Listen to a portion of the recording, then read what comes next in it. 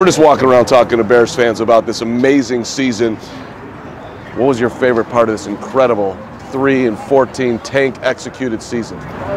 Justin Fields. Justin. The performance out of him has been incredible. Definitely have to say the same. What about part 2? Probably when we finally were able to use Cole Kmet and use that. Kmet! You made the cut, baby. Yes, took way too long. Great answer. Great answer. Love it. Appreciate you guys. Thanks, man.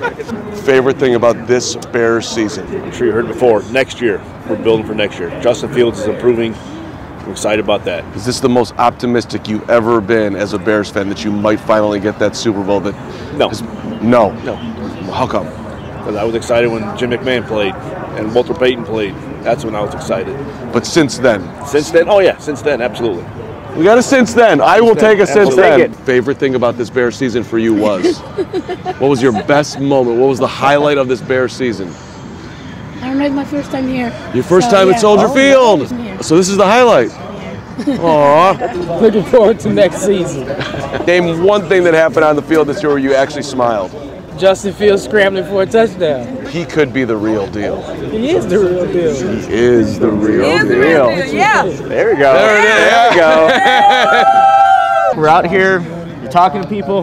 How do you how do you think the vibe is about this season and what people think about it? You, you know, Bear, Bears fans, like, just give them credit, right? Everybody is is immersed in realities.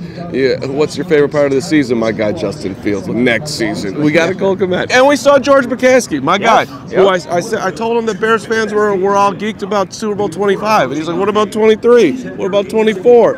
George is ready.